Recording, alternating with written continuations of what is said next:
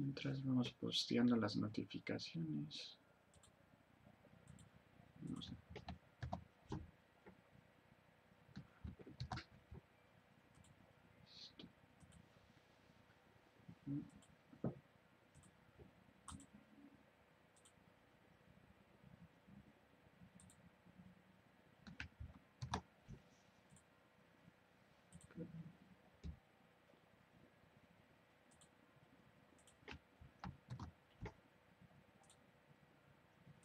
Ahí está.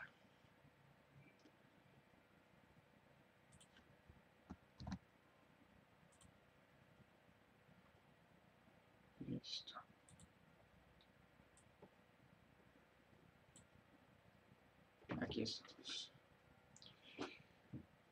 ¿Qué tal, Hero 22? ¿Cómo estás? Eh, Víctor Gallagher, ¿cómo estás? Pues muy buenas tardes a todos, bienvenidos sean a el cuarto día, el último día ya de esta semana de anime para conmemorar precisamente el lanzamiento de Dragon Ball Fighters, un juego que desde que se anunció en E3 eh, causó revuelo por el motor gráfico porque Arc System, que son los responsables de la saga de Blaze Blue, estaba a cargo de las mecánicas de combate, así que ya era muy, muy esperado. Y para poder disfrutar más de este juego tenemos un invitado de lujo que se los había prometido desde el año pasado, pero créanme que las ocupaciones a veces no lo permiten. Eh, hay llamados, hay familia, hay 50 mil cosas que atender primero.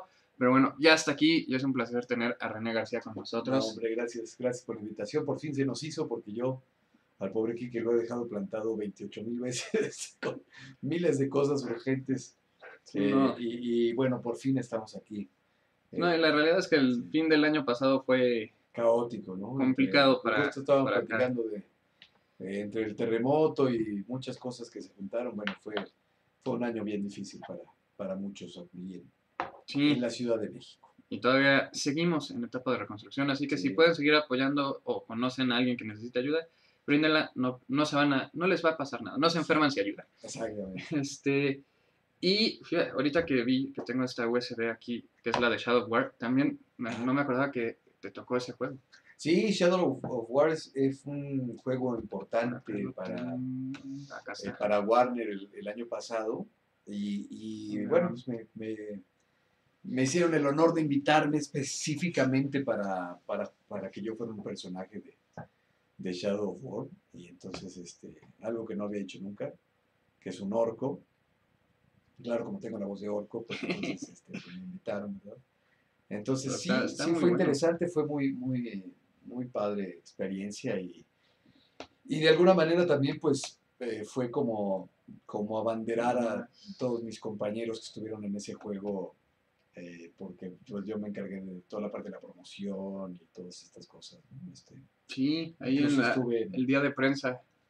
Eh, en muchos lugares con, con el juego. Entonces sí, muy, muy padre, muy interesante. Con eh, nuestro queridísimo Gabriel Basurto haciendo la voz del principal, de Talion. Ajá. Este, a estos de Batman los deberían de doblar. Pero es una compañía relativamente pequeña y no, no creo que les importe doblarlos. Pero si los doblan, que llamen a René. pues, y bueno, pues, ¿qué, ¿qué les digo? El año pasado fue de muchos videojuegos. Estuve en Shadow of War, estuve en Ghost Recon, Cierto, güey. Estoy en Destiny 2. Ah, también Destiny. Este, ah. muchos, muchos videojuegos. Que no jugué Destiny, pero sí vi el comercial. Ajá, exacto. Que de hecho también doblaste el comercial, ¿no? Sí, sí, y en Destiny me llamaron porque el actor Nathan Fillion, eh, que yo hice ocho años en una serie que se llamaba Caso, eh, es, es el, el, el, actor que le puso la voz ahí a Kate Six Sí, sí, no, Nathan es... También tiene una muy buena carrera de, actuación de voz. Generalmente lo llaman para hacer linterna verde en mm. muchas de las animadas. Mira, eso no lo sabía. Sí, digo, esas, digo, lo platicábamos hace rato, también se hacen en Venezuela, pero estaría padre que, que se vinieran para acá. O inclusive combinar los elencos. También. Porque creo que la voz de Rubén León es muy característica del guasón animado. Sí. pues, digo, pues se hace, se hace ya ahora la combinación en este de Agents of Shield, que se hace la mitad, bueno, en una compañía se hace la mitad en Argentina y la mitad acá. que también tuvo un personaje muy padre. Traté de ver la primera temporada. Y hay, otra, y hay otra versión que se hace en otro lado, entonces, bueno, hay dos versiones.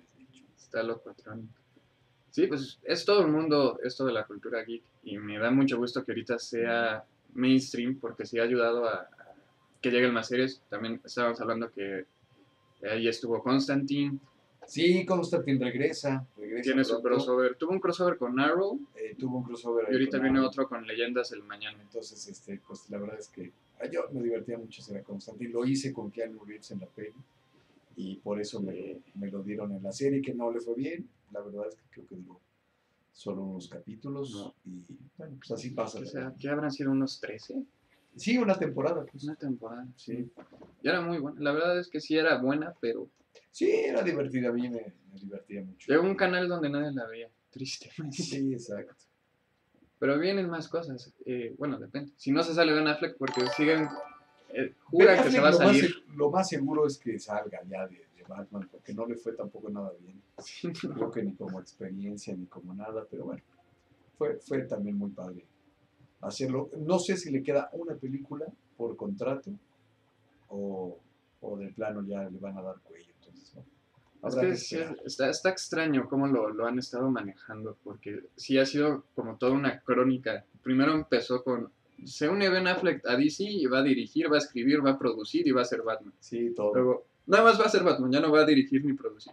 ok, este, no sabemos si va a seguir siendo Batman, Tuvo, poco un mal año pobre de Ben Affleck, yo. De pronto sí, algo, algo pasó ahí porque no le fue bien con Batman, no le fue bien con su película, que creo que estaba haciendo al mismo tiempo. Y también creo que eso, eso afectó mucho todo. Sí, la, de, la del contador. La de Night. Ah, no, sí, no su película, la, que él dirigió. Sí, la segunda después de Argo. Y, y, no, pues no, creo que no. La tercera me parece. De hecho, en teoría por eso pensamos que Batman contra Superman iba a ser buena. Porque también le ayudó a escribir a Chris Terrio, que es con el que hizo algo. Pero, se quedó, se quedó. Obviamente vamos a elegir a Vegeta. Este, a Trunks, que es su hijo. Y uno más para completar la tercia. ¿O quién le cae bien? No, pues nadie. Pero no nos deja tener dos, tenemos que... Ah, bueno, escoge a... No sé. Nafa, que era su compadre. Ándale, no. Que era su, su, mejor amigo. entonces son tres contra tres. Yo estoy apenas viendo el juego, no, no lo había visto, apenas estoy eh, familiarizándome con él. El Jam, no, Yamcha era su rival romántico. Relativamente. Yo no puedo con la, ya no puedo con la presión, el Batfleck. Pues no, es que ha de ser un nivel de estrés brutal. Terrible, pobrecito. Ahí lo tenemos de Lego. Si yo ya no puedo con la presión de nada. ah, ya lo vi. sí, está padrísimo. A mí me regalaron un Vegeta muy bonito de Lego, que tengo ahí también en casa. Que eso es lo padre también de las convenciones, encontrarse con los fans que... No, me han regalado unos increíbles, ¿no? Este, bueno, ahora que platicabas de, de Cora, de nuestros amigos eh, Cataño y todos, me, me trajeron específicamente un, Vegeta muy bonito de Japón, que lo tengo ahí en un lugar especial. Sí, no, es que el Japón tiene cosas impresionantes que casi nunca nos Sí, no. Pero o, sí. llegan, pero, pero muy difícilmente y caras, ¿no? Sí, algunas tiendas especializadas quizás los lleguen a, importar, pero sí suele ser caro. En Monterrey tenían la cápsula esta de los de Akibara. Tenían mm, la, cápsula que se iba armando como ah, por partes. Entonces, El juego desgraciadamente no, no se dobló porque, pues, bueno, esas decisiones son a nivel empresarial y no es culpa de nadie. Sí, nosotros sí hubo algunos acercamientos, pero nunca se llegó a nada. bueno, lo lamentamos y creo que los fans lo lamentan más. De hecho. porque sí tiene muchos, muchos diálogos y muchas cosas que se quedaron en japonés. Sobre todo porque sí hubo un precedente. Quizás si no se hubiera doblado antes otros juegos, dirías, lo, más, lo más curioso, bueno, tú, tú me, me, corregirás, creo que sí hay un juego doblado en español de España, ¿no? Quizás porque España dobla más. Según entiendo, no sé si este esté doblado en español. España no, lo tendríamos, ¿no? Creo. Sí, porque está, o sea, sí tiene, los subtítulos vienen en español y la consola está en español. Pero lo más cercano que tuvimos fue un proyecto de fans que agarraron eh, los audios de la serie y los lograron empalmar. Entonces por ahí se hizo una versión no muy legal que digamos del Budokai Tenkaichi 3. ¿Pero podías jugarlo? ¿En sí. español? Sí. Sé que nos deben una lana a todos pues, todos los que tienen. Técnicamente no, porque no se lucró. Claro. Porque nada más se, se lo, si sabías buscar en el internet lo encontrabas. O creo que solo fueron videos. No sé si sí hubo un build tal cual, porque creo que eso ya requiere más tiempo y más habilidad. Pero en YouTube sí hay videos de, de estos que crean los fans donde machan la voz con, con los juegos. Claro. Igual pues es una... Pero hubiera estado padre tener una versión oficial. La Claro, sería. Sin embargo, ya tenemos a Rani aquí. Así que si hacemos, por ejemplo, un Big Bang. ¡Big Bang Attack! Ahí está, ya, ahí está. Ya nomás descargan al rato el video. Y, la, oh, y lo depositan. Exacto. El Final Flash. Final Flash. Porque no me acuerdo. ¿Sí decían Final Flash ahora sí estaba traducido? ¿Resplandor final? Resplandor final. Sí. ¡Resplandor final! Ahí está. Me hubiera quedado muy bonito. La verdad es que sí. Por eso, aunque el juego de caballeros no sea excelente, le perdono muchas cosas nada más porque suena como de. Suena como sonaba. Exacto, el polvo de diamante se oye como polvo de diamante. Exacto. Bueno, y, lo que estabas platicando es que los, eh, los gráficos de esto, lo interesante es que son real como, como la animación, ¿no? Lo, es como estar, como estar, dentro de un capítulo, casi Exacto. Pero para que practiques un poquito, porque la gente te quiere ver jugar. A ver. Nada más. ¿Qué, qué Cuadro, cuadro, cuadro, cuadro, cuadro. Cuadro, cuadro, cuadro. Exacto. Ya, ya le, le, damos sus trancasillos a Capitán Guineu. A ver, vente para acá. Ese no me acuerdo quién lo hacía. No, pues que yo también. Es más que sabrán que Dragon Ball Z se dobló. No, tiene otro ataque este como. Sí. Con triángulo es el combo medio. No, soy una bestia para jugar estas cosas. El, si no mal recuerdo, el primer juego que doblaste fue Alan Wake, ¿no? Eh, no, estuve en Fable antes. Fable, cierto. Pero siento que Alan Wake fue más como un proyecto más personal porque también. Ah, no, bueno, sí, yo lo dirigí. ¿Cómo? Voltaic. con la palanca. No, pero no sé. Ahí está. Ahí en Voltaic Studios con Oliver Magaña. Con Oliver, sí, se hicieron muchos juegos ahí. Después, bueno, pasó lo que, lo que pasó, tenía que pasar. Detalles de, de la industria y del negocio también, pero Sí, sí, según yo, Voltaic fue de los primeros estudios en empezar a doblar juegos. Sí, sí, de los primeros localizadores que ahí se dobló también este, parte de League of Legends. League of Legends, la, este, el primer doblaje. Fable, Alan Wake. Eh, Luego se pasó. Se hicieron varios, muchos, muchos juegos. Sí, tuvieron ahí un problemilla con. Pues uno de Batman también lo hicieron ahí. Uno de Batman. El Arkham Origins. Me parece que. A ver, sí. para que me salves, porque Ah, ya, no está. Sí, es que no se está moviendo. ¿No, era culpa de René? No, pero. Ah, ya sé qué pasó. Ah, no, este. Creo que nos había hecho el cambio de cuerpo y estábamos en el cuerpo de Ginyu. Ah, o algo así pasó. Ah, da igual. Vamos, ah, vamos a la sala principal. ¿Ya les dijeron cuándo empezará a doblarse lo que falta de Super? ¿Ya les dijeron cuándo empezará a doblar lo que falta de Super? No. no, todavía no. Lo que sabemos de Super hasta ahora es que, que se acaba en el capítulo 130 más o menos, por ahí. Y, y, lo que viene parece, no, no esto no es oficial, no, no estoy diciendo nada eh, cierto, son solo los rumores que, que, hemos escuchado, que viene una peli más y, creo que ya. Es que se posteó una imagen, ¿no? Según yo, la, no me acuerdo si la posteó Toei o quién, pero era como un póster con las 20 películas y había un signo de interrogación como dando a entender. Como de que había una más. Que venía la 21, 21 nada, vigésima primera. Sí. Ah, eso. La vigésima primera. Vigésima primera, ahí está. ¿Qué más tenemos por aquí? ¿Cuál doblaje que ha hecho le ha gustado más? ¿Cuál se le ha hecho el más difícil de hacer? ¿Y cuál es el que menos le ha gustado? Todos me gustan porque pues es mi trabajo, es mi, mi profesión y es lo que, lo que hago en la vida. Me han tocado doblajes muy difíciles, muy, muy difíciles. Eh, no precisamente de anime, bueno, sí, por ahí uno que otro anime. Hanamichi era muy difícil. Pero era bueno. Pero era muy bueno. Eh, pero pues son muchos años ya haciendo esto, entonces pues la verdad es que muchas, muchas cosas, muchos retos y, y, no lo van a ustedes a creer, pero uno de los más difíciles que, que me ha tocado es hacer eh, a Nick de Zootopia, porque justamente no quería que sonara a Vegeta. De hecho, va a ser. en ningún momento de la, de, de, Ahorita se los de la historia, ¿no? Ah, ahí está. Vegeta contra Vegeta. Ah, mira, está padrísimo.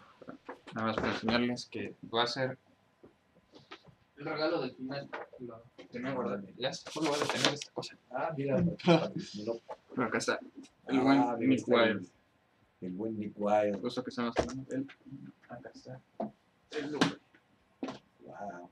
Es que sí, me encantó. Creo que, digo, tú me lo podrás decir mejor porque experimentaste la película desde otro ángulo y desde el guion, la construcción del personaje y todo.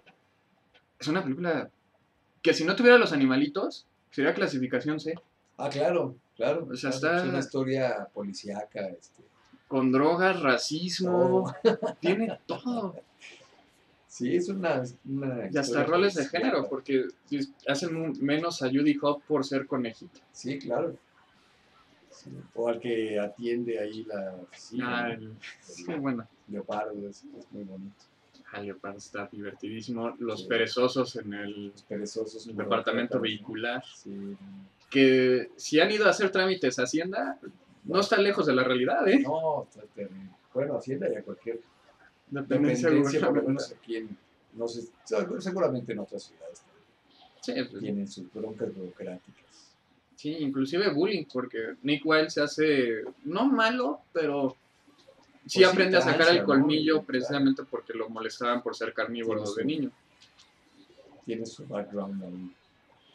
Sí, no, es una película que me fascinó. La verdad, está- Sí, está muy bien, muy bien hecho. bien muy hecho. que es cuando muchas veces la gente se apasiona demasiado, porque compitió contra Cubo, que es una película Muy bonita. muy bonita de stop bonita. motion, con toquecillos CGI, o sea, sí tiene ahí unos retoques. Sí, la verdad es que Cubo es una película muy, muy hermosa. Y perdió el Oscar Cubo, y lo ganó Sí. Zootopia. Entonces todo el mundo estaba enojado porque, ¿por qué si Cubo está mejor animada? Yo, pero Bueno, lo que le va a pasar ahora a la película esta de Van Gogh, más ¿no? complicado. que lo más, lo más seguro es que gane Coco, pero No más seguro es que gane. Es que sí es mejor Pero- película. Sí vi Loving Vincent y está hermosa. La vi en el Cinemex de arte que está creo que en Polanco. Y está muy bonita porque todas las pinturas son reales. O sea, primero pintaron como 500 cuadros sí, sí, sí. y esos los usaron para animar la película. Pero la historia está como muy... ah, Está No muy es- blanda. No es como que haya una historia, ¿no? No es el sobrino o el hijo de... No, es el hijo del cartero de Van Gogh Que le tiene que ir a entregar una carta al hermano. Ateo.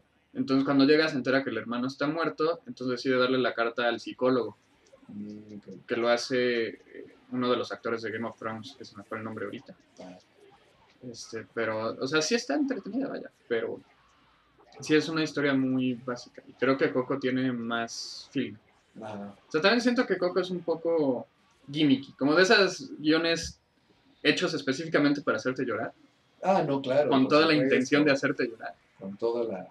Sí, no, por supuesto. Porque la película también es como muy regular hasta el final. O sea, al final es donde sí ya te deja caer toda la emoción. No, y la recreación de, de todo lo que es el folclore mexicano está muy, muy, muy bien hecho. Muy bien documentado. Exacto. Porque el internet sabemos cómo funciona a veces, ¿no? Y la gente se deja llevar por rumores y ahora sí, como diría Tron, fake news. Exacto. Porque decían que, ¿qué sabían los gringos de, de nosotros? Yo, pon tú que nada, pero por lo menos Pixar se aventaron seis años haciendo la película. Mucha investigación, seguro todo lo que vieron y todo, porque ahí está, están detalles impresionantes en la película. Sí, sí, sí. igual que con Moana, no agarraron una sola eh, rama, sino combinaron varias cosas. Por, nos, por eso ven pirámides y chiles O sea, como esta combinación de varias tradiciones mexicanas. Sí. René, ¿cuál te gustó doblar más? ¿Dragon Ball o Super? Supongo que Dragon Ball Z o... Sí, Dragon Ball Z, porque, bueno, Super ya es una consecuencia ahí de, de Z, ¿no? Pero, pues Z es de donde partió todo, ¿no? Ah, mira, aquí Víctor Gutiérrez 99 dice, me tengo que ir, pero no sin antes decirle al señor García que admiro mucho su trabajo y no olvidaré la primera vez que lo vi en persona, que fue en el Campus Party del año pasado. Ah, pues sí, gracias a Shadow of War ahí este, me tocó presentarme en Campus Party, que fue una experiencia para mí increíble, ¿eh? porque no, no sabía de verdad, debo confesar lo que era Campus Party, fue, es impresionante todo lo que, lo que pasa ahí. Sí, es un tipo de convención diferente, muy enfocada a, la tecnología. Y llegué a conocer a desarrolladores incluso de, con los que estuve platicando, entonces, este, que venían de Estados Unidos, entonces muy interesante la verdad, este, lo que pasó en Campus Party, mucho, mucho movimiento, ¿no? Este, eh, oportunidades incluso para desarrolladores, para, para muchas cosas. Sí, hay una escena independiente muy, muy grande ahorita. Obviamente los juegos AAA pues, es igual que con las películas, ¿no? Entre más presupuesto tengas, más fácil es que llegues a, al público, porque imprimes más copias, vendes más. Claro. Pero sí hay una escena independiente muy, muy importante que desarrollan juegos que inclusive muchas veces logran eh, opacar a los estudios más grandes. El año pasado tuvimos el caso de Cuphead, que es ah, un juego como caricatura de los 50 que también es hermoso de verlo. Difícil, pero hermoso de verlo.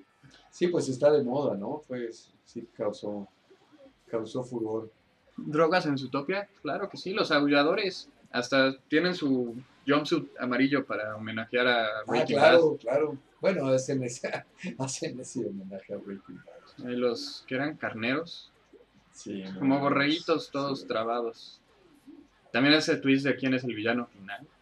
No les vamos a decir para no hacerles spoilers, pero es muy bonito.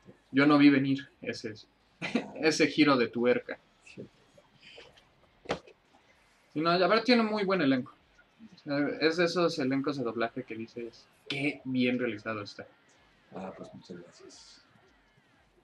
Sí, no, con, mucho amor. Y, esa es la experiencia más llenadora y cercana que tendré con unos domicilios. Pues, depende en qué ciudad vivas, pero pues René va. René viaja todo el tiempo. Tenemos muchas presentaciones. Este año muchas, muchas se están juntando ya eh, cada fin de semana. Entonces vamos a estar en Puerto Vallarta, Morelia, Acapulco, que son ahorita las, que me acuerdo, Zamora, Michoacán. Vamos a estar en un montón que vienen ya muy seguiditas, muy pegadas. Vamos a estar en la Argentina, bueno, yo, creo que Mario también, pero yo voy a, Jujuy una vez más, voy a Salta, me parece, eh, y a Tucumán también este año. Vamos a ah. Panamá este año, creo por fin se nos hizo estar en la ciudad de Panamá. Solo habíamos pasado por ahí quién sabe cuántas veces. Pero ahora sí ya. Ahora sí parece que vamos. Entonces, un montón de cosas. Por eso síganlos en sus redes sociales porque ahí avisan generalmente a qué ciudad les toca y a qué país les toca ir. Eh, ¿Cómo vamos? ¿Cómo vamos? Ahí lo llevamos, ahí lo Rango S. algo sabemos hacer en este juego. este, ¿qué? Supongo que esta historia la has contado mil veces, pero la gente no se debe de cansar de oírla. Y es si hiciste casting para, o prueba de voz para Vegeta, o eh, cómo fue que llegaste a Vegeta y qué personaje te hubiera gustado en lugar de Vegeta. Eh, bueno, no hice casting para Vegeta, llegué porque eh, Dragon Ball llegó a una compañía donde yo trabajaba frecuentemente y con una directora que, con la que yo trabajaba frecuentemente, Gloria Rocha, que de cariño le, le decimos la madrina. Y fue ella la que pensó en mí para Vegeta, me habló, me dijo, tengo un personaje. Yo llegué, lo, no sabía de qué se trataba, lo, lo hice. Y de ahí para el Real, o sea, como decimos en México. O sea, de ahí para adelante, pues fue a hacerlo. Pero quiero decirles, insisto mucho en esta historia, porque nosotros no sabíamos que Dragon Ball se iba a convertir en lo que se convirtió, ¿eh? Ninguno de nosotros. Lo hacíamos con mucho cariño, con mucho eh, empeño, con, con, mucho profesionalismo, como hacíamos todo el doblaje que estábamos haciendo en ese momento, pero nunca pensando que esto iba a ser un fenómeno y que nosotros íbamos a viajar por toda Latinoamérica y que nos iban a querer ver y que les íbamos a firmar autógrafos. Eso jamás en la vida. Nunca, nunca, nunca. ¿Qué tan separado fue empezar Dragon Ball de Caballeros del Zodiaco? Muy separado, porque Caballeros fue 90 más o menos. Sí. Por ahí. Empezamos el doblaje en 90 y Dragon Ball estás hablando de 93 más o menos. Unos tres años después. 93, 94. Creo que debe haber empezado Dragon Ball Z, ¿no? Sí, porque bueno, Dragon Ball lo tuvimos un poquito antes. Son cuatro años, cuatro años después. En el Inter, yo estuve en Sailor Moon, estuve en eh, Hanami Sakuragi en Slam Dunk, eh, y un par más por ahí. Que también estaba Sergio Bonilla, que ahí la hacía de Rukawa. Sergio Bonilla de Rukawa, exactamente, sí. Pues pasó de hijo a, a rival en la abuela. Mario también tuvo algo en Sailor Moon, ¿no? No sé, pero en Hanamichi también tuvo algo, creo que era un maestro. Siempre se encontraron. Sí, siempre estábamos ahí. Pues trabajábamos mucho en esa compañía, entonces eh, realmente hacíamos muchísimas cosas. Sí, era lo que ayer estábamos platicando en el stream de Caballeros, que ese fue quizás el inicio de, de toda esta locura, porque fue como el primer anime que se volvió un fenómeno muy grande en Latinoamérica. Sí, Caballeros fue un fenómeno también muy, muy grande. De hecho, a partir de Caballeros y yo creo que de Los Simpson, empezó esta cosa de conocernos. Porque Los Simpson también fueron un fenómeno y alguien por ahí llegó, no, no sé bien esta historia, pero creo que alguien llegó a querer eh, hacer traducciones o hacía traducciones en japonés, una chica, y de pronto dijo, pues es que yo estoy haciendo esto y conozco a la gente que dobla, ¿cómo que conozco? Y entonces empezaron estas cosas de las convenciones, pero pues lo estamos hablando de hace 20 años por lo menos, ¿no?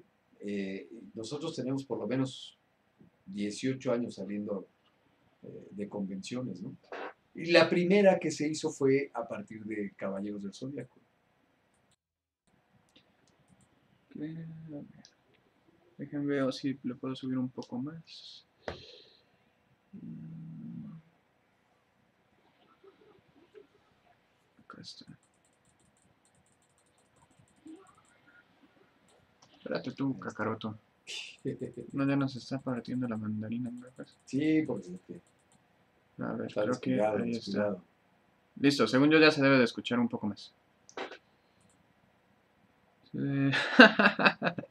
si le dieran un peso por cada insecto que ha mandado a los fans, ¿cuánto dinero tendría? Pues imagínate, sería millonario. Em, ¿Qué más tenemos por aquí? Bueno, en lo que llegan más preguntas, que eh, decíamos Los Simpsons, también ahí tuviste varios personajillos. En Los Simpsons sí, un montón de personajes, sí, sea, que siempre me daban rockeros. Decía Sting, a Lenny Kravitz, eh, ¿quién más? Hice un montón. El profesor.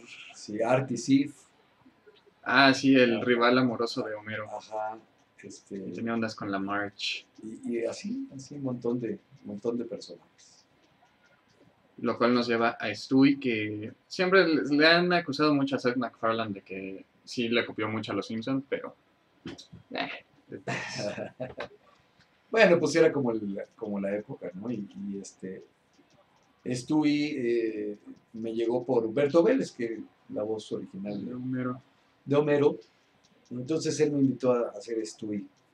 Entonces le pusimos esta característica de hablar como bebé, pero, pero neonazi. Sí nos ganó el Vegeta clon. ¿Qué tal? No lo vi venir. Que por ejemplo, ahí en, en inglés eh, McFarlane hace casi todo. Hace casi todo. Peter, a Brian, a Stewie. ¿Alguna vez te ha tocado aventarte algo similar? ¿De hacer varios personajes? Sí, en una sola serie. Ah. ¿O te gustaría algo así? Pues sabe, en alguna serie, alguna vez creo que hace muchos, muchos años, hacía una serie donde de pronto, bueno, me ha tocado hacer como cuando se desdoblan los personajes, ¿no? Mm, Entonces el bueno y el malo. Hace muchos años, muchos, hice una serie que era muy buena, por cierto, que justamente se llamaba Twins, que resulta que, que es un profesor de la universidad y tal, y lo culpan de un asesinato. Y él no lo sabe, pero tiene un hermano gemelo eh, que es malo, ¿no? Y entonces, este, pues es toda esta persecución de él huyendo de la justicia, de pronto tratando de encontrar al hermano gemelo, y me tocaba doblar, evidentemente era el mismo actor, las dos partes, y era, era muy interesante porque, porque un actor, eh, pues era el bueno y otro era el malo, pero era el mismo, el mismo actor. que ahí es donde hace muchos años se entiende ya perfectamente el por qué doblaje es actuación. Sí. Porque nosotros ya como fans, pues ya vemos el producto final, ya nada más. Podemos imitar la voz porque la estamos oyendo, pero hubo toda una construcción de personaje atrás de por qué se llegó a esa voz, por qué tiene esas inflexiones, por qué subir en ciertos momentos, por qué bajar en ciertos momentos. Ah, no, claro, la, hay todo. Eh, el, doblaje, el doblaje es emoción también, sea que estés haciendo anime o un drama eh, entonces, eh, lo que sea, tienes que estar eh, metido en la emoción que tienen ellos, porque pues el doblaje, como yo siempre lo digo, es una recreación nada más de lo que de lo que ya está hecho, ¿no? Entonces tienes que tratar de acercarte a las emociones lo más posible para que el resultado sea que tú creas que están hablando en español, obviamente. Exacto. el, el quid del doblaje. Y ahí supongo yo que hay varias maneras de abordarlo. Digo, también conozco algo de doblaje, no tanto, evidentemente. Pero este, porque uno es pues, hacerlo lo más igual a, al original, pero otra también es pues, recrear el personaje desde cero, ¿no? No dejarte guiar tanto por el por lo que ya está grabado, porque pues al final también se tiene que adecuar a, a la región, al idioma. Pues lo que hacemos nosotros es justamente eso, ¿no? Latinizarlo lo que ya está hecho en inglés o en japonés o en lo que sea. Porque no solo doblamos inglés, también a veces, muy contadas veces, pero sí doblamos alemán, ruso, no sé, este portugués, evidentemente. Sí, porque hay cosas que no llegan, a, digamos, a canales tan grandes como Canal 5 o, Exacto.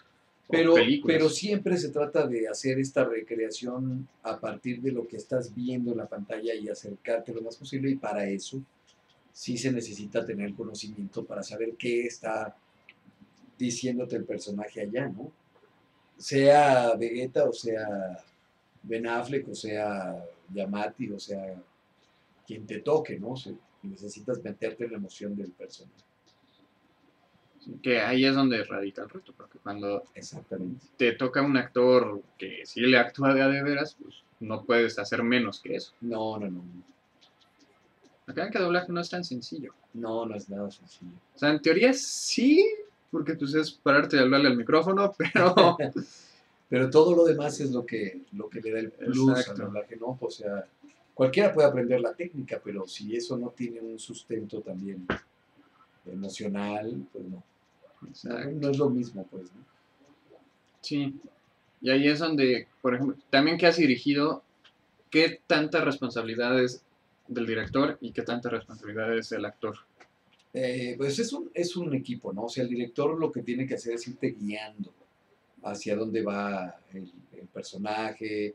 Se supone que el director ve la película antes, te tiene que decir de qué va la historia. Entonces, el director tiene que irte llevando, tiene que irte conduciendo. Los mejores directores para mí son esos, los que te van conduciendo y que te dejan también hacer tu trabajo, pues, ¿no? O sea, porque hay directores que, que también exigen que sea lo que ellos tienen en la mente y a veces no va a lo mejor contigo o, no te sientes cómodo, no sé, ¿no? Puede, pueden pasar muchas cosas. Pero lo mejor es que te vaya guiando, que te vaya diciendo, no, mira. Y también viene una parte muy técnica con la dirección, o sea, que es esta parte del lip puedes ajustarlo, ¿no? Quítale una palabra, ponle otra palabra, eh, córrelo un poquito más en esta parte, aquí tienes una pausa, ¿no? Es también ir ayudando al actor para que, para que vaya haciendo mucho más fino el trabajo. Sí. Por eso, traducir para doblaje no es tan sencillo como se ve a primera instancia, porque hay que pensar en las famosas labiales. Sí, traducir no es traducir nada más, sino adaptar realmente lo que se hace en doblaje. Sí, por eso luego algunas palabras que quizás ustedes sientan, sobre todo los fans más puristas que dicen, es que eso no dice el original. Sí, pero también hay que pensar en los labios y si no cuadra, pues hay que hacer sí, los labios en el tiempo de la historia, en el tiempo de, del idioma original también, ¿no? O sea, hay, como yo siempre les digo, en Dragon Ball a veces decían, ¿no? Y eso quiere decir, este, hola, ¿cómo estás? ¿No? Y al revés, ¿no? De pronto decían, y era, hola, ¿cómo estás? Buenas tardes, ¿cómo está la familia? ¿no? O sea, entonces hay que hacer esa, esa adaptación y es muy complicado también. Y para eso también está el director, ¿no? Es, un, una cuestión de equipo también. Exacto. Por aquí preguntan, ¿cómo ha sido la experiencia de doblar a Ben Affleck? Ben Affleck es un actor eh, muy limitado. Es un actor muy, muy limitado. Entonces la experiencia de doblarlo, pues es padre porque es una estrella de Hollywood, pero, pero la verdad es que sí yo siento que no es un actor que ve mucho. Hace su esfuerzo, es un gran director de cine, creo que todavía no llega a su momento de, de ser más grande, pero, pero las pelis que él tiene como director, excepto quizás la última que, que se le fue de las manos, pero las anteriores son muy buenas, muy, muy buenas.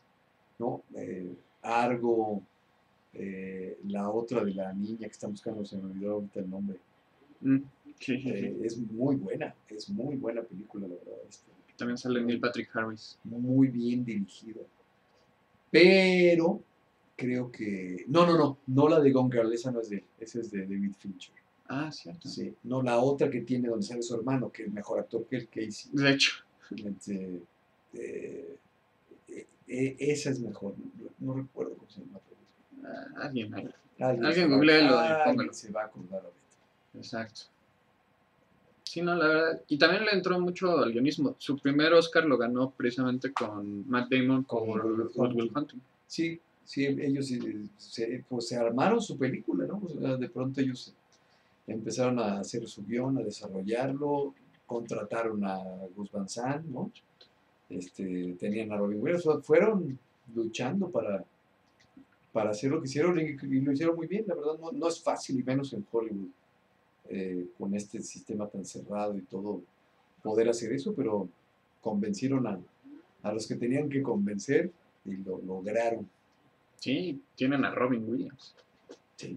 Muy buena película, si no la han visto, véanla. Es muy buena. Eh, si dobló a Ben ¿quiere decir que dobló a Batman? Sí, exacto. Sí, exacto. Dos Batmans. En Batman v Superman y en Justice League, que Pobre película. Estaba destinada al fracaso. No, en Batman. En ah, y en Batman Returns. No, y en el redoblaje. En, este, en Escuadrón Suicida también. y antes había sido Robin. Antes fui Robin y luego fui Batman, pero con Keaton en Returns. Sí, primero. Batman me persigue. El Chris O'Donnell en Batman Forever. Ajá. Luego ya vino el redoblaje de Returns. Sí, luego Batman y Robin. No, al revés. Primero las de Returns y digo, sí, primero, fue los dos Robins, luego el, Batman de Keaton y ahora este Batman. ¿En Batman te, tocó Keaton también? No, caray. Ahí ya Se no en Argentina. Pero en Spider-Man Homecoming sí. En Spider-Man Homecoming sí. Y en el juego de Lego Marvel también, sí es cierto. Que no es propiamente el, el buitre de Keaton, no. pero sí, sí eres tú. Es otro buitre, sí. Y Daredevil, que tampoco es propiamente el de Affleck, pero Bueno, también me había tocado África en Daredevil, Sí, sí, los superhéroes han estado ahí. Varios superhéroes por ahí. Para la versión completa del director que fue solo de, de DVD, la, ¿sí la doblaron o se quedó nada más la, el teatrical? Eh, de, Daredevil. ¿De Daredevil? No, según yo no. No se quedó solo en el teatro. Qué triste. Sí, sí, sí. No, recuerdo, no recuerdo, ¿eh? Si hicimos escenas adicionales para el DVD. Mm. Que si eres la voz oficial de algún actor. Creo que es un término extraño. pues oficial. sí es un término extraño. O sea, sí he doblado a muchos actores que... De forma recurrente. De forma recurrente, como África, Keanu Reeves, a Chris O'Donnell, Chris O'Donnell a Paul Giamatti. Paul Giamatti. que también salió en Spider-Man. Salió en un Spider-Man y me, lo, me llamaron para hacerlo. De hecho, fíjate, no hubiera podido hacer el buitre. Pero pues, son las cosas. Cambiaron de empresa. Porque esa fue la última que hizo Sony directamente. Sí, este, pero eh, en realidad lo que pasó es que no pude. No, no, no, no pude hacerlo. Estaba yo haciendo una telenovela y no me dieron los tiempos para ir a hacer. Que hubiera estado interesante porque tenía acento ruso. Ah, órale. Era el Rino, ¿no? exactamente. Sí, ni siquiera vi la película. no, te perdiste de mucho. Tanto así que Sony tuvo que doblar las manos y decirle a Marvel, ok, está bien, toma Spider. Claro. Pero que es un conflicto, les debo decir, porque Sony tiene Spider-Man, que es de Marvel, pero Marvel es de Disney. Entonces, Spider-Man no es de Disney, porque es de Sony. Entonces, eh, tienen un conflicto ahí con eso, pero de aquellos. Sí, todo empezó en los 90 cuando de repente empezó la, franquicia. Sí, es que se aborazó mucho Marvel. Entonces le empezó a ir bien. Dijeron, ok, vendimos bien este cómic, vamos a sacar el siguiente con 20 portadas variantes para fomentar coleccionismo y para qué vender un cómic si podemos vender 20, ¿no? Total, los fans van a gastar. Y no, no le salió la jugada entonces entraron casi en bancarrota y tuvieron que vender muchas de sus licencias. Claro. Sus licencias más importantes en ese momento, porque Iron Man no figuraba. O sea, en aquellos ayeres Iron Man era un personaje secundario. Iron Man. Que sí tenía serie de, de, televisión, bueno, caricatura, que lo hacía Mario precisamente. Ajá. Pero X, ¿no? Ahí el, el grande era Spider-Man y los X-Men, que son los que vendieron uno a Fox y el otro a Sony. Exactamente. Y apenas ahorita en tele todavía lo tiene Disney. Por eso cancelaron también Spectacular Spider-Man para meter Ultimate Spider-Man, pero esa ya la mandaron a Argentina. Eh, y curiosamente la distribución de los Blu-rays también la tenía Disney. Pero las en cines sí lo tenía Sony. Y ahorita tienen como custodia compartida. Sí, sí. Como papá divorciado. Como raro eso, pero. Pero funcionó. Me gustó Homecoming. Y creo que ese Spider-Man está interesante. Y sí da pie a que regrese el buitre como parte de los seis siniestros. habrá que ver para dónde lo quieren llevar. Exacto. Porque no murió. Pero no. Y por lo pronto ahí, ahí quedó, ¿no? Sí, ahí se encuentra en la cárcel con el escorpión. A ver qué pasa. A ver qué tal. Una frase de un personaje que te guste de los que has doblado. Insecto. Exacto. ¿Cuál es la historia del insecto? ¿Fue ¿De la, madrina o...? La historia del insecto, no, sí, la, bueno, la madrina me dijo, oye, necesitamos hacerle una palabra que lo, que lo, que lo desprecia, así, que lo... Dije, pues qué imbécil. No, no, no, porque es para niños. No, no, imbécil, no, porque es muy fuerte. Dije, pues qué, algo así que lo desprecie. Pues insectos, sí, insecto me gusta. Ah, perfecto. Y ya, se quedó el insecto para Que yo he de confesar que la verdad disfruto más a yoga que a Vegeta. Digo, me gusta ah, mucho Vegeta y me gusta más que Goku, pero Yoga llegó primero a mi vida. Ah, bueno.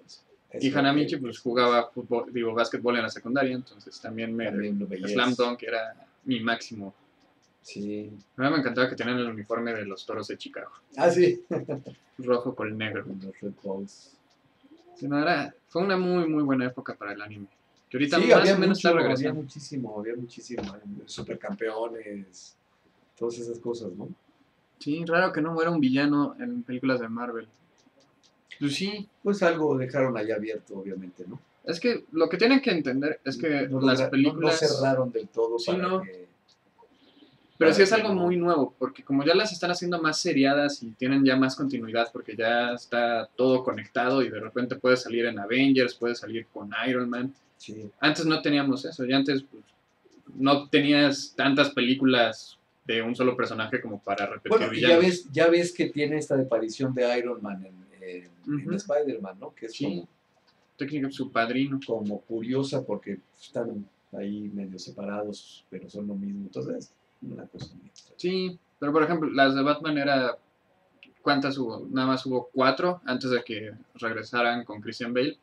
Entonces no puedes perder tiempo con el mismo villano varias veces. Sí. Entonces tenías que seguir avanzando, avanzando y avanzando. Pero ya ahorita con el éxito de Avengers, ya Marvel vio que, ah, mira, no tenemos que hacer un villano cada película, podemos ir conectando todo, que más o menos por ahí va Justice League, que todavía se puede salvar, pero Sí, Vamos a yo creo que la mejor de DC hasta el momento ha sido La Mujer Maravilla. Todos. No hay manera, o sea, creo que es la mejor lograda, la mejor contada. No, la verdad es que sí, sí, sí me sorprendió la mujer. Es que tiene un equipo creativo diferente. Sí. Porque todo era Zack Snyder. una mujer, ¿no? Con, con, un punto de vista distinto. Entonces, la verdad es que y también es curioso, y ella pudo haber hecho algo con Marvel, porque iba a dirigir la segunda de Thor, Pero ahí tuvo diferencias creativas, se salió, de dejó el proyecto. Entonces, quién sabe cómo hubiera sido la historia si se hubiera quedado. La de Thor es muy mala. Ah, que también estás ahí, de hecho, eh, con un filtro y no se reconoce, pero es Malekith. El ah, de la 2 con Christopher Eccleston. Sí. Que era un doctor. No, no, no, pero esta última de. Ah, la de Ragnar. También. Pero es peor la 2. Es muy Pero la 2 es más aburrida. Sí, exacto. Porque inclusive, digo, yo sé, y esto es algo que quizás los fans a veces pasan por alto, doblan tanto que no pueden acordarse absolutamente de, de todo. no, Porque aparte... Luego nos llegan así. Como es la serie esa de Twins, yo no me acordaba hasta ahorita que... Sí, no, que, tienes familia, tienes cosas que hacer. No es como que, estés viendo series todo el día. No, y a veces uno va dejando cosas también, ¿no? O sea, yo la verdad es que en un momento debo confesarles que para mí Vegeta, eh, con lo de Kai, ya había muerto. O sea, yo, yo ya no, no pensaba más en Vegeta. Me seguían invitando a las convenciones, evidentemente a mí. Pero yo pensé que el personaje ya estaba pues más, que, más que enterrado para mí. Y hasta que llegó la película. Hasta que llegó la película, que fue como nuestro... Como pues el, cuando resurge Dragon Ball realmente, cuando cuando toma otra vez fuerza. Sí, y aquí. Ah, ya me acordé. Pero, por ejemplo, ¿qué recuerdas de Malekith? Pues es que es Christopher Eccleston, que me gusta mucho como actor. Y ya, ¿no? Y que hubo que hablar, hubo que hablar un idioma ahí de los de ellos. Y ya, pues realmente incluso me, hicieron, me hicieron hacer casting y todo y no... película rara. No, no trascendió. Sí, no, no hace absolutamente nada. Ni ya, no, ni nada. Y ahora sí, regresando a Kamito Kami, aparte creo que para Vegeta fue una película muy favorecedora, por así decirlo, porque le tocó la escena más graciosa de la película. ah, la de la batalla de los dioses. Ajá. Sí, que todo el mundo me dice, pero ¿cómo se prestó a eso? Pero no fui yo, pues así está escrita. luego a veces los fans piensan que nosotros escribimos las historias y que nosotros... No, nosotros tenemos que atenernos a los que están en el guion y así va, ¿no? Sí, quizás dos, tres palabritas se le puedan añadir, pero... Claro, es como estás haciendo una telenovela como actor y pues te matan y pues ni modo, oiga, no me maten porque, ¿no? Pues, bueno, a algunos les ha funcionado. Ah, cuando se llevan muy bien con el director, ah, está bien, ahora. No, mira, cuando el personaje crece y tiene, pero cuando tiene un arco, se llama esto, un arco del personaje, que tiene un desarrollo y termina. Y entonces eh, se acaba el personaje y se acaba, ¿no? No, no puedes decir, ay, este, no me maten, ¿no? O como algún actor que no, no aceptó hacer alguna vez eh, un personaje de Romeo y Julieta porque lo mataba. Entonces, ok. Personas. Este, por aquí dicen que si eh, vas a retomar a yoga para el remake de Netflix. No sé. Exacto. Por eso sí leí esa pregunta porque... No lo sé. Es algo que los actores no controlan. No, todo puede pasar. Sí, no, es, muy peculiar. Todo lo último de los caballeros este, sí se hizo en las últimas sagas y todo. Pero no lo sé esta ocasión. No sé si se vaya a doblar, no sé si no se va a doblar. No sé si en una de esas decida Netflix que se la lleva a Argentina, porque muchas cosas se hacen. Sí, está raro. Ah. Incluso el otro día alguien me preguntaba eh, que por qué John Wick, que está en Netflix, no soy yo. son diferentes versiones. O sea, John Wick sí soy yo en las dos versiones, pero hay una versión que está en Netflix que no soy yo. Entonces, no. depende de muchas cosas. Sí, eso lo, lo, empecé a notar con Once Upon a Time, que si la ven en tele... Es, están tres, tres lugares distintos. Entonces hay tres doblajes diferentes. Sí, el de Netflix es el de Argentina, el de Canal Sony es el de aquí, que lo hace lo hacen en Antigua, ¿no? Con Koba. Hay una parte que se hace en Antigua y otra parte que se hace en... Bueno, o sea, hay otra versión que se hace en otra parte. Sí, para que vean. Sí, te hay tres versiones. Sí, a, a mí me ha tocado hacer, por ejemplo, a Ben Affleck, eh, que creo que es lo mejor que he hecho como actor. Eh, una historia donde él hacía al, el actor que hizo a Superman, mm, George Reeves, sí, sí, que se llama Hollywood Land, creo. Sí. Este, y me tocó hacerlo dos veces en dos diferentes compañías para dos mercados diferentes. Así ha pasado. Exacto, que esto se conecta con una pregunta de hace rato de por qué hay redoblajes. A veces se pierde el sonido, a veces se pierden las películas dobladas, a veces se quedan enlatadas. Debo confesarles que una vez hice una, una redoblaje de, de chips de patrulla motorizada que yo veía de niño. Y me tocó hacer a uno de los dos patrulleros al güero porque ya se había, se quedó así y las, la compañía dijo, no, pues hay que doblarlo porque pues, para que se quede toda la serie doblada, porque a lo mejor la, la, querían en DVD o alguna cosa estas. Y se, se redobló eso. Alguna vez me tocó tocar eh, tres veces hacer la misma película en el mismo día. Eh, unos, los cuentos de la cripta. O sea, todas las versiones que vean de esa película también súper ochentera, noventera, no sé qué años. Eh, yo hacía mucho a, Slater, a Christian Slater, lo hice mucho tiempo. Y él salía en un cuentito de los cuentos de la cripta. Bueno, llegué en la mañana, lo hice, luego a mediodía tenía llamado en otro lado, lo volví a hacer, y luego en la noche tenía en otro lado, y lo volví a hacer. Y dije, bueno, ya la última vez, dije, oiga, lo acabo de hacer dos veces. ¿Cómo? son mercados distintos a veces. Sí, quizás alguien compra la serie porque ya vencieron los derechos. O compran paquetes muy grandes de... Ah, bueno, otra curiosa. Dato curioso. Hay una película que se llama Horas Contadas con Michael Keaton y Andy García. En una película soy Michael Keaton y en la otra versión soy Andy García. Acá que el doblaje es todo el mundo. Es muy chistoso lo que pasó con esa película. Pero... Pero bueno, ¿no? Entonces, ah, un director me vio en Michael Keaton y el otro director me vio en Andy García, entonces... Que también eso pasa mucho. Depende del estudio, cambian las situaciones. Sí. es todo... A veces uno, rechaza cosas porque no, no puede. Sí, pues. Eh, ¿Qué más tenemos? Lo de yoga me llama la atención porque... Mm, no sé si todavía, digo, sabes que te quiero y te aprecio y te admiro, pero creo que ya si hacen un remake, ya no se necesitarían las voces originales porque ya es Yo otra cosa. También lo creo. o sea, sí ya... Yo lo creí desde la película. Es que en las películas ya se les nota la edad a los personajes. La verdad, no, bueno. Porque ya el CGI les... Ahora sí se ven niños. Yo tenía 20 años cuando hice a yoga. Pues Pepe tenía 13. Yo tenía, Pepe era niño. Yo tenía 20 años, no 90. Hagan sus cuentas. O sea, yo, ya, yo es, de esos personajes que siento que ya no me va. ¿no? O sea, la gente, claro, por la nostalgia y por, por el cariño y por todo, eh, ya no nos va ninguno, ni a Pepe, ni a mí, ni a nadie de los que decimos caballeros. Por la edad también, porque ya no puedo estar haciendo chavitos de, 20 años, o no, menos, pues la película ya se ve como 14, sí, que se supone esa es la edad que siempre tuvieron, nada más que los dibujos Entonces, no, eran rarísimos. Ya no es nuestra voz, ya no es nada, tenemos que, que fingir un poco la voz. que la diferencia con Super es que Super sí es continuidad, sí es después. Super sigue igual, y también la diferencia es que Vegeta no tiene una edad específica.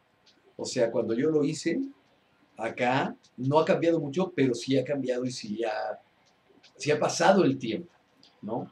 Se volvió papá, luego maduró o no, quieren verlo. Pero bueno, es, es, es distinto, ¿no? Sí, pero sí es una secuela, o sea, sí, aunque ya no estés en la misma edad y en la misma situación que cuando se dobló Dragon Ball Z, Super sí es años después de Z. Exactamente. Aquí sería regresarte hasta el principio. y ha pasado, por ejemplo, que cuando se hacen estos, estos eh, redoblajes de películas, a veces el actor que dobló esa película en el momento original ahorita ya eh, es más viejo o murió incluso, ¿no? Entonces a mí me ha tocado redoblar, por ejemplo, películas con Dustin Hoffman, eh, con Jeremy Irons, ¿no? Me ha tocado hacerlos a ellos. En redoblajes de películas que son muy viejas que se volvieron a hacer. Me acaba de tocar una cosa maravillosa que yo lloraba porque una cosa que, que cuando yo era muy joven vi en el cine y me quedé absolutamente fascinado con esa película que se llama La Misión. Y, y hace poquito redoblé a, se redobló toda la película y, me hicieron el, enorme honor de, darme a Jeremy Irons, que está estupendo en la película, Entonces... En esa, otra de esas curiosidades que solo doblaje permite, Jeremy Irons sale de Alfred eh, con Affleck en, ah, Batman. Ya viejo. Y aquí ahora. Exacto. Sí, no, es, es, es, muy curioso y es un juego muy padre que las, solo puede ser de doblaje porque te mueves entre personajes y entre películas que quizás el original no hubiera tenido esas conexiones. ¿Cuál fue el último trabajo que ha hecho, si se puede mencionar, y alguno en el que estés ahorita? Eh, el último trabajo, bueno, eh, sigo haciendo una serie que se llama Blue Bloods, sigo haciendo NCIS en Los Ángeles, eh, sigo haciendo Chicago PD, que nadie me conoce ahí, lo cual me alegra mucho. Eh, sigo haciendo, bueno, hice Billions el año pasado, creo que viene una, una tercera temporada de Billions, donde hago a Yamati. Listo, creo que ya lo eh, eh, pues, ¿qué más? bueno, sigo haciendo Dragon Ball, evidentemente, hasta donde vamos. ya, lo logramos. Tenemos a Vegeta Azul. Perfecto. Y bueno, pues este, estoy actualmente en una telenovela, un proyecto muy grande de Telemundo, eh, que está a punto de estrenarse. Doble Vegeta. Que es algo que quizás muchos no sepan. Seguramente los fans más acérrimos, pues sí, porque siguen tu carrera, pero también has hecho muchas cosas de live action. He hecho muchas cosas de televisión, sí, ya tengo, tengo un buen rato combinando eso. Y empieza un proyecto de teatro. Hiciste. Es que era una de las que veía mi madre, que salías como de mafioso o una cosa así. de Argos. Pues, pues en Argos he salido de todo. Sí. he salido de bueno, de malo, de regular. Ah, de todo hecho en Argos. Sí, es que no, no veo novelas. no, pues pero si sales como los primeros 10 capítulos, porque creo que matan tu personaje. Eh, bueno, estuve en. Eh, las últimas que hice fue La Impostora, que estuve toda la novela. Creo que es ese. Eh, estuve luego en. No, entonces no es ese. Un poquito, unos cuantos capítulos en La Doña. No, ya era esa. Estuve. No, en todos. En El Señor de los Cielos estuve en un par de capítulos. Debe de ser. Seguramente estaba pensando en esa. La Señora Cielo estuve también. Sí, porque es toda esa oleada de de series de ahorita que pues los podemos ver como ficción porque sí están muy romantizadas. De la realidad, Este, sí, de, esta narcocultura que predomina hoy en día. Sí, terrible, pero, pero cierto, es una, una realidad. Al final no es culpa del arte, el arte solo está ahí para reflejar lo que pasa. Reflejar.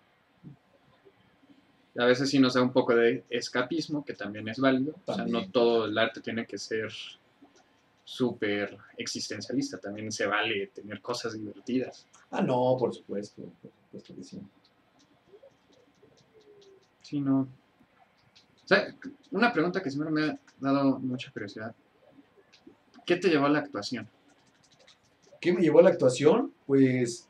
Eh, Digo, porque lo haces desde bebé, básicamente. En principio mi familia. Yo vengo de una familia de actores, o sea, mi bisabuela, mi abuelo, mi abuela, eh, mi padre fue actor también, entonces pues ya era muy difícil este, zafarme, de eso. Y entonces eh, eh, yo a los cuatro años de edad comienzo en el teatro.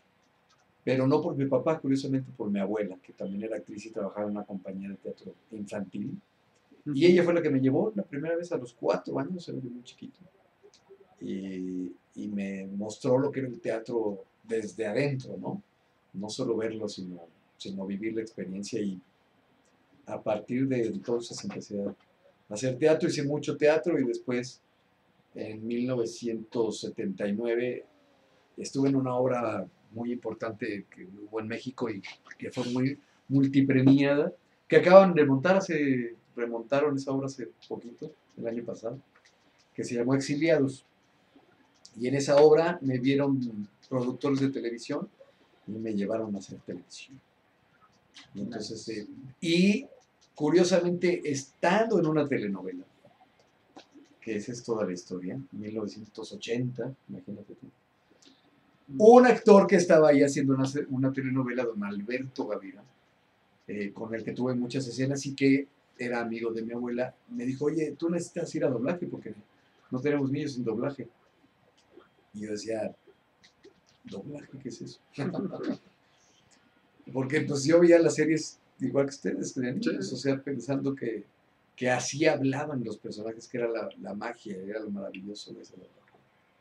Y él fue el que me llevó a doblaje por primera vez, don Alberto Gavira, y fue el que, gracias a él, me oyen ustedes. Esa, esa gran historia. Mira, que yo, digo, por si no se notaba, obviamente soy ultra nerd y ultra ñoño. Entonces fui muy introvertido y no me costaba mucho trabajo hablar con las personas hasta que tomé un curso de actuación. No sé si tú también lo sientas, pero sí es como muy catártico el hecho de que puedes vivir, depende también qué tanto te dejas llevar, pero puedes experimentar todas estas emociones a través de los personajes. Claro. No, bueno, es bastante enfermo, ¿verdad? Pero sí, querer andar siempre querer ser otro. Sí, pero no, la verdad es que eh, estas herramientas son para contar historias. ¿no? O sea, los, los actores somos contadores de historias. Y para contar una historia necesitas toda esta parte de, de enamorar a la gente y de que la gente se compenetre y le estás contando una historia a fin de cuentas. Es, lo que hacemos los actores desde los griegos. Alimentar la imaginación. Exacto. Sí, pero es, un, es una labor muy, muy bonita y muy especial. Sí, y catártica, sí, claro, por supuesto, en muchos sentidos. ¿no? Yo yo creo que toda la gente debería acercarse a, aunque no se vaya a dedicar a, la actuación, creo que toda la gente debería acercarse por lo menos para que sepa esto de las emociones, ¿no? Sí, porque esa es la materia prima. Sí, la gente seríamos mucho más... ¿Ha habido algún, ya sea cine, tele o doblaje, algún momento en el que sí te, te haya ganado la emoción y hayas inclusive tenido que decir, espérame, pausame tantito la toma porque necesito respirar o algo así. No, fíjate que al contrario, cuando llega ese momento, es, yo digo que es el mejor momento, no, no lo reprimes, al contrario, lo avientas, ¿no? Esta emoción la sacas y, es lo que hace una gran actuación cuando ves actores que hacen eso en cine o en teatro. Cuando de verdad sacas la emoción, eh, te, lleva a, a, donde tienes que estar. ¿no? creo yo. Sí, pues, eso era lo bonito de hacer sala. ahorita ya hay otras circunstancias. Sí. Ya es más complicado que los estudios te dejen hacer sala porque, bueno, sí. Pero incluso cuando estás haciendo doblajes y el actor que está ahí tiene una emoción muy arriba, tú tienes que estar conectado a esa emoción porque si no, pues, pasa lo mismo. O sea, no, no, le llegas al actor que estás haciendo. Y se va a notar. No, claro que se nota, por supuesto. Sí, no, es, es una cosa muy, muy peculiar. Sí. Vamos a la sala principal. Eh, de todos los personajes que ha doblado, ¿con cuál se identifica y por qué? ¿Con cuál me identifico? Pues no me identifico realmente con, ninguno, ¿eh? O sea, todos tienen parte de mí, evidentemente. Pero, pero no, no es así de identificarme al 100%, ¿no? no. ¿no? me ha tocado hacer cosas donde de pronto sí pues son más cercanas a mi vida o en ese momento específico de mi vida además, ¿no? Eh, pero pero no, no, no, no es que se identifique uno, ¿no? Hay, hay personajes que yo, yo como René García odio. Digo, porque ¿por qué está pensando así este personaje tan estúpido? ¿no? Sí, sí, Pero estás doblándolo, entonces tienes que meter, dejar de ser tú para ser el otro y pensar como el personaje que estás haciendo. ¿El proyecto de teatro es teatro musical? Sí, el proyecto ah, es teatro musical. Eh, no mi parte, pero es un proyecto muy grande que está a punto de anunciarse, yo creo que ya en un par de semanas, porque es un proyecto, de hecho acepté porque la verdad es que me gusta mucho lo que va a pasar. Entonces, este, espérenlo porque ya lo anunciaremos próximamente. Sí, fíjate que yo le tengo un gran cariño al teatro musical. Eh, no a todos, porque pues no te va a gustar todo. Aunque te guste una cosa, puede haber obras que no te gusten. Pero siento que es una gran combinación de todas, bueno, no de todas, pero sí de muchas disciplinas de, las artes escénicas. Sí, sí, aunque pasa luego que en el, teatro musical es una fórmula, ¿no? Que se repite, se repite, se repite, se repite. Y hay, hay musicales que a mí me gustan bastante, hay otros que no, que no, no, no, no me gustan. Sí, pero creo que es pero, muy padre. Pero sí, es un, es un arte gigantesco, como la ópera, ¿no? O sea, la ópera combina... Sí. Que es, los musicales son como el bastardo de la ópera, ¿no? Sí, que a veces... Pero, el, pero la, la ópera combina todo, combina este, escena con canto, eh, todo, todo es un, es un espectáculo gigantesco. Sí, creo que ahí lo que más me gusta es cuando sí logran mantener un balance porque a veces se pueden ir más hacia un lado, preocuparse más por cantar bien que por actuar bien o Sí, pocos, pocos cantantes lograban las dos cosas, ¿no? Plácido Domingo es uno de ellos, o sea, él lograba meterte en la emoción del personaje impresionante. Entonces, eh, dice que si le, tus hijos han visto eh, tus personajes. Sí, claro, sí, por supuesto. Sí, sí, sí. Sí, mis hijos han visto todo. Mi, mayor fan ahora es mi hija más pequeña, que es la que está con... sabe que, el personaje es Vegeta y todo, entonces este, lo defiende mucho y todo. No ve, evidentemente, Dragon Ball todavía, está muy pequeñita, creo que no es propicio apropiado todavía, para, ello. Pero sí, todos mis hijos eh, eh, saben, ¿no? Y, bueno, cuando le dicen a sus amigos, los amigos en ¿no? porque tengo, tengo hijos grandes también, entonces de pronto pues cuando se enteran que soy yo, pues es muy chistoso. Bueno, trabajando en las novelas que trabajo a veces, los técnicos que están ahí, los camarógrafos, los de iluminación, los de props, todos estos son fans. Nos pasó cuando fuiste cuando, ¿no? Cuando, También cuando fue el programa de los camarógrafos, también le pidieron ahí. Entonces, cuando se enteran de eso, se vuelven locos, eh, porque es un fenómeno. Y también tu señora también anda en esto. Sí. Que hace poco la escuchamos en For Honor, que es como un juego de caballeros, samuráis y vikingos. Ha hecho muchos, muchos. Y sale de la gran mala. Ajá. Una caballero negro llamada Apolonia.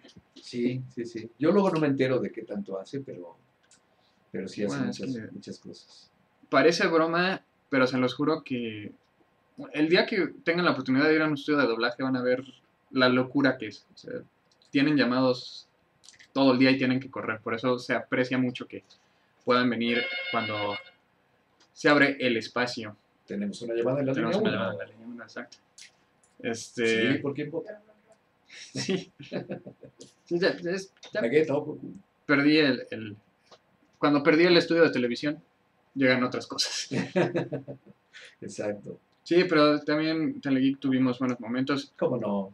Y lo que ustedes no saben es que nos empezamos a llevar porque en la VM teníamos una jornada de comunicación. Y una vez unos compañeros llevaron a Mario Filio y dije, oye, estaría padre, está chido esto de doblaje, debemos traer a más, veamos a quién podemos localizar. Y ya invité a René y aceptó ir, lo cual fue como, wow, sí me puse nervioso, en todavía, pero más en aquel entonces. Sí, sí, sí, me acuerdo de. Ya hemos podido colaborar, eh, colaborar en muchas cosas. De hecho, está en YouTube, en mi primer intento de canal. Ahí Búsquenlo. Está bien. Ahí anda. Señor García, ¿los actores tienen algún conflicto contra los que hacen fandom o no tienen problemas con ellos? Oye, eso es interesante. Pues conflicto no, pero sí eh, tienen que tener muy claro, la gente que hace fandoms por diversión está padrísimo. Pero eso es eso, puedes hacer un doblaje mal hecho sin lo que nosotros hacemos. Entonces, cuando alguien ya sobrepone el fandom contra el doblaje, eh, ya no, no, porque no es doblaje, es fandom. Yo no estoy en contra de que lo hagan, háganlo. Pero es como si yo de pronto me saliera aquí a las calles y entonces empezara a decirles a los vecinos, oigan, voy a construir un puente ahorita, ¿eh? Este, porque pues he visto que como, pues, está fácil, ¿no? O sea, miren, pongo dos varitas y otras varitas, y entonces lo, lo más probable es que ese puente se caiga en algún momento, porque yo no soy arquitecto, ni ingeniero, ni nada de eso. Todo lo que hacemos tiene una base muy sólida. Cuando alguien no tiene esa base, no puede entender de qué se trata, ¿no? Que es lo que estábamos platicando hace rato. Entonces, evidentemente, eh, llevar el fandom a, querer profesionalizarlo no es lo mismo que ser un profesional que hace las cosas como se deben hacer en un estudio profesional, con gente profesional, etcétera, etcétera, etcétera, porque son muchos años también de estar haciendo esto y es un aprendizaje que, que, conlleva muchas cosas. Sí, digo. Si lo hacen por diversión, qué chistoso, ¿no? O sea, la verdad es que, hagan lo que quieran. Pero, pero sí, cuando, cuando ya esto se quiere comparar con lo que es, ahí sí yo ya no estoy de acuerdo. Sí, la, puede ser inclusive un camino interesante porque te permite practicar de cierta forma. Sí. Pero practicar en un ambiente. Pero cuando practicas solo, sin una dirección adecuada, sin un guía adecuado, lo más probable. O sea, lo que sí tenga un sentido es que no muy desarrollado de la autocrítica que no muchos no tenemos nadie. Sí, la verdad es que no. Pero sí, o sea, sobre todo porque si lo vemos desde el punto de vista de que están imitando, pues ya se ahorraron todo el trabajo de la construcción del personaje y de entender las emociones, porque ya solo estás o luego está recreando. imitar, imitar, ¿no? Es como poner un dibujo y nada más calcarlo. Exacto. O sea, te va a quedar bien, pero no vas a entender por qué se dibujó. Hasta los propios imitadores no son tienen estudios y tienen cosas de quienes te están imitando, no lo hacen así de, ay, me salió, ¿no? Sí, sí. No te preocupes, Girobet, agradezco los cheers. es que hay... Es un sistema que tiene Twitch, donde cada cheer representa, creo que es un centavo, una cosa así. Entonces es como un sistema de donaciones. Está padre, porque es... Hay inclusive una página musical que se llama Patreon, que me recuerda mucho a, a esta época antigua de los mecenas, donde financiaban a los artistas. Ajá. Entonces es algo así, pero electrónico, porque es, tú vas a producir videos para que yo me entretenga, toma, te pago un dólar al mes o dos dólares al mes. Y muchos, eh, podríamos llamarlos artistas de Internet, se mantienen con, con eso, con las donaciones, con el Patreon, con eh, donaciones directas de PayPal, los views, evidentemente. Bueno, hablando de videos también de YouTube, eh, ah, métanse a la página de Desdoblados, que ya tenemos un nuevo, eh, un nuevo video. Y, bueno, pues véanlo porque va, ya otra vez se reactivó esa página, afortunadamente, y vamos a, vamos a tratar de, de subirlo más constante ahora para ustedes. Claro que también es un trabajo creativo que, que toma tiempo, ¿no? Sí, colaborativo, porque también este, la familia ahí anda ayudando. Sí, sí, sí, y bueno, los Heredia, que son son pues nuestros socios de alguna manera ahí. Entonces, la verdad es que sí, sí, este, búsquenlo desdoblados. ahí tienen el link. Muchas gracias. Y, vean el nuevo video porque está también está, está divertido. ¿Y tú ya lo viste? Ya. ¿El nuevo? ¿Qué te pareció?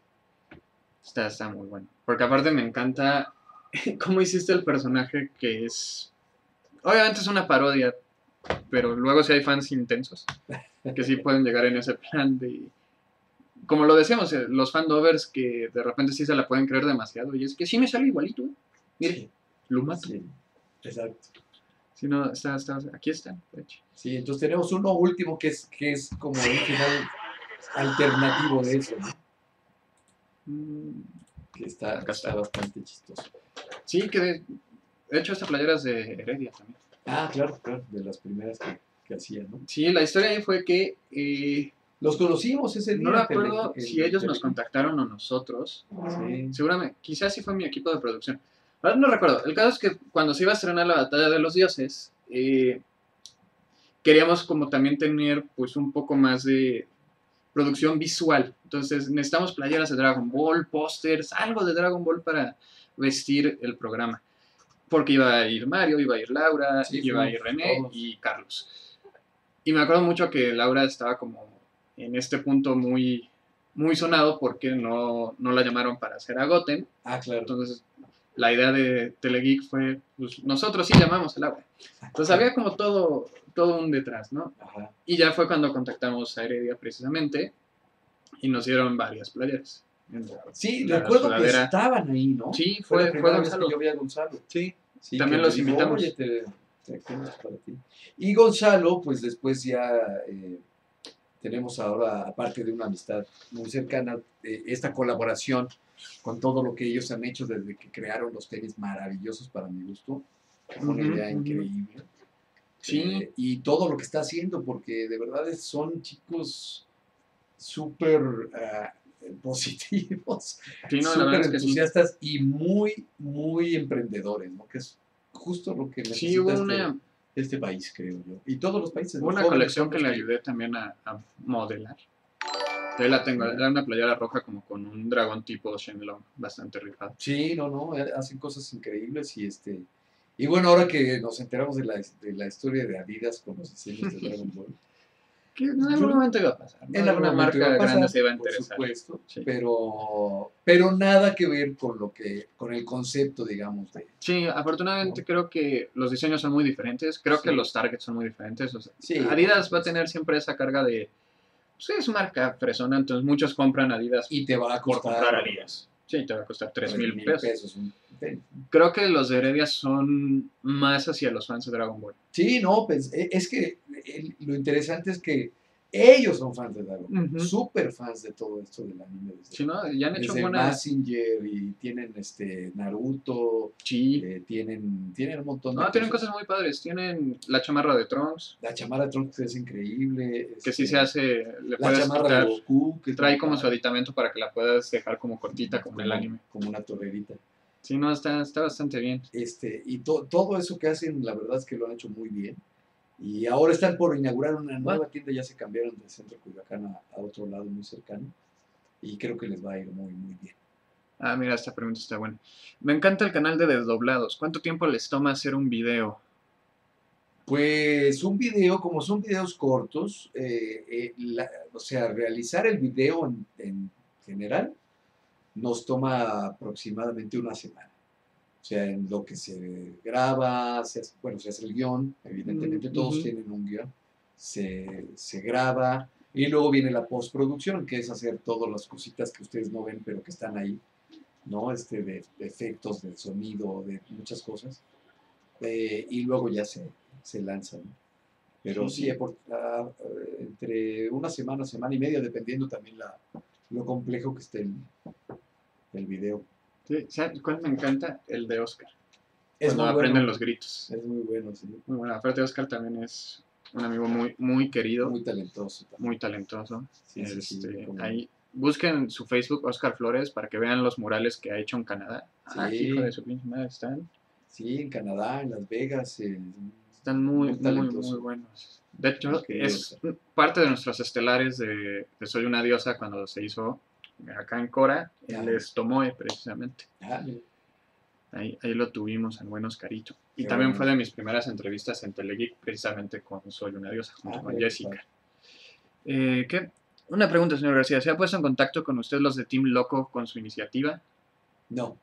No. O sí, no sé. Creo que son, era lo de Locomotion, ¿no? Los que tienen como, era un canal de anime que ahorita quieren como revivir de ah, forma independiente. No, no, no. Entonces no. Creo, Quizás yo esté equivocado, si no, este, ¿quién fue? Prof, Timo, eh, ¿qué es Team Loco? si estoy en lo correcto o estoy diciendo barbaridades. Eh, ¿qué se, Señor García, ¿qué se siente doblar a un personaje o actor que no demuestra emociones y es muy gris, ya sea como personaje o como actor? ¿Qué se siente? Pues nada, o sea... que tengo que trabajarle más. Hay que, sí, o sea, realmente, realmente lo que les decía, doblar a alguien es estar en, en, el, en la emoción de quien esté, ¿no? Si, si el actor es eh, así, pues así hay que hacerlo, ¿no? No es que uno quede absolutamente satisfecho con eso, pero pero uno tiene que hacerlo lo, mejor posible siempre. Si, si, haces un personaje gris y tú quieres no ser gris, no va a funcionar tan el doblaje.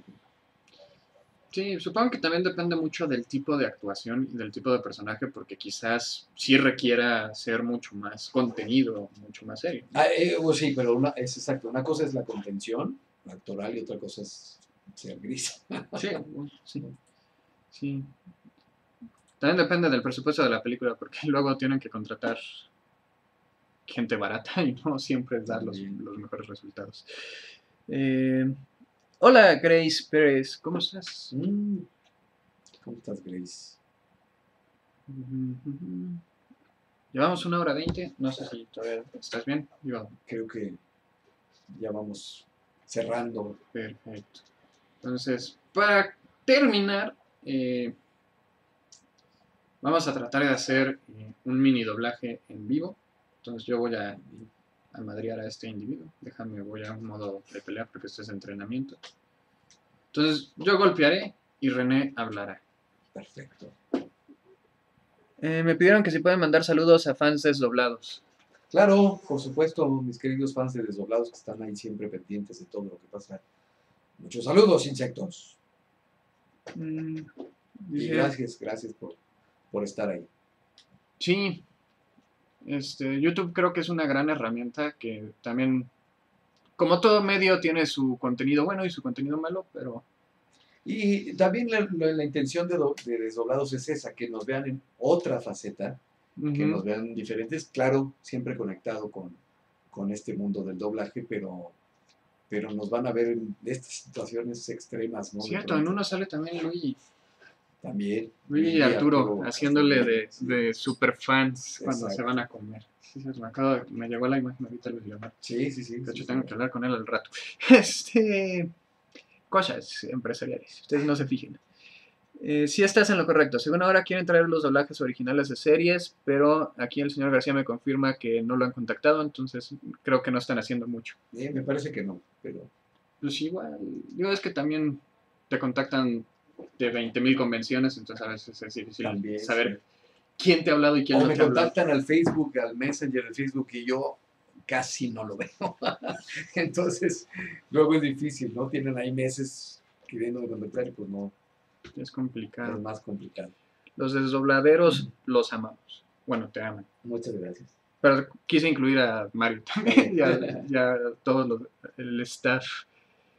Este, pero sí, vayan al canal, está, está muy, muy divertido. Sí, se van a divertir. Porque créanme que quizás solo conozcan a René en papeles de, pues no villano per se, pero sí de, de enojado, de acá, pero también tiene un toque cómico muy, muy ameno. Aparte lo llevas en la sangre. Sí, pues ni modo. Ok, ya empezamos. Listo. Entonces a darle. Toma, toma esto, toma, toma insecto. Toma esto y esto y esto también. ¡Ay, ay! ¡No! ¡Toma! ¡Me caes mal por dragón! ¡Ay, ay! ¿Dónde estás? ¿Dónde? ¡Toma! ¡Ah! ¡Ah! ¡Voy a acabar contigo! ¡Toma, toma, toma, toma! toma. ¡Ah! ¡Ya, ya, ya, ya! ¡Ah! ¡Ah! ¡Ah! No me duraste ni dos segundos. Poquito más de dos segundos, pero ahí la. ¡Ay, Mayimbu! ¡No! No me vayas a comer, por favor. ¡Ay! ¡Ay! ¡Ay! ¡Ah! ¡Toma! ¡Toma esto! ¡Ah! ¡Voy a acabar contigo!